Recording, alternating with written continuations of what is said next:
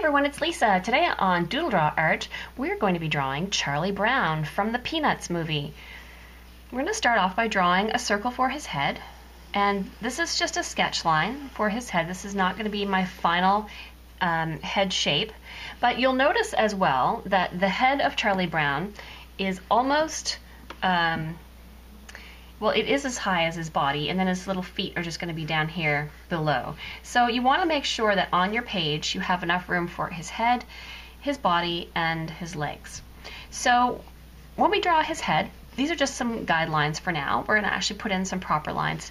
We're going to start with his ear on the left side, and we're going to make the ear start more than halfway down the circle. So if you imagined 9 o'clock being right here, we're going to come down more towards like, I'm going to say 8.30. And I'm going to make his left ear just like a nice big C coming out from the side of his head. And then we're going to draw the circle around his head. So just this, this line here becomes a bit more final all the way around to make a circle for his head. On the other side, we're going to come across to find his ear right here. So I'm just going to bump out to the side like this for his other ear. Great. And then we're going to draw his smile. So the smile starts off just about the same height as the side of his ear. So we're just going to hop in to there and think about the other side of his smile finishing here. And we're just going to draw. Um, he is smiling, so it's going to be a smiling shape. But Charlie Brown is often sort of uh, having some bad luck. So even though he's smiling, his smile is a little crooked. Great. So now we're going to come up above his ears and we're going to draw his nose. So where the ears finish, like I'm just draw a guideline here, how high the ears are when they finish, this is going to be where the bottom of his nose is. So I'm just going to draw a, a dot pretty much in the very center of my circle and I'm going to make a C for his nose, a backward C for his nose. So it's going to start a bit to the side here. It's going to come around and touch. So the top of his nose um, is a little bit longer on the edge than the bottom. I'm just going to erase a tiny little bit of this. I went further than I wanted to. All right, so from here we have his nose. And then we have his eyeballs, and he just literally has dots for eyeballs. So just slightly below the um, top part of his nose, we're going to draw nice dark circles for eyeballs. Great.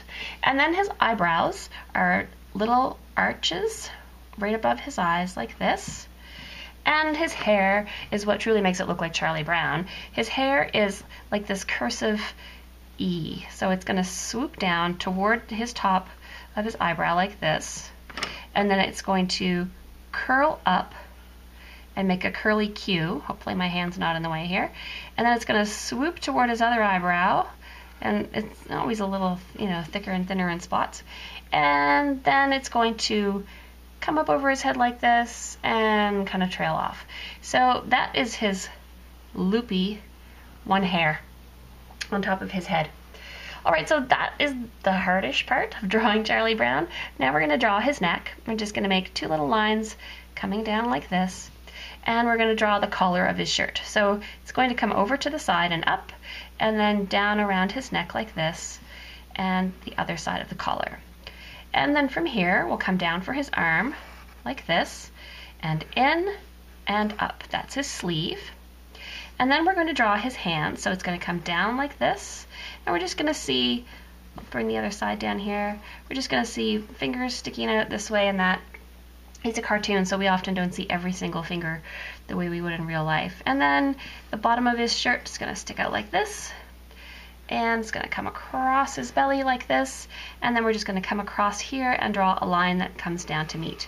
So you want to make sure that he's tubby enough. You don't want to make him too thin. His head is bigger than his body across, but he's pretty, he's pretty wide when it comes to it.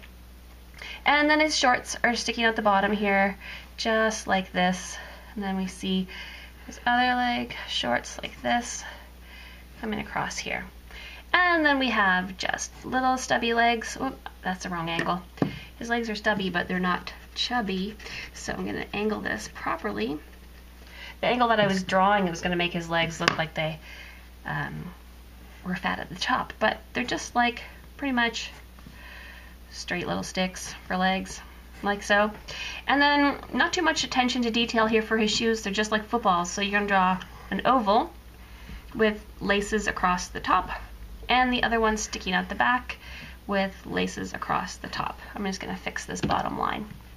This is why it's nice to work with pencil because you don't always do it exactly the way you want to on the first try. I mean, lots of times you do, but the times you don't, it's nice if you used a pencil.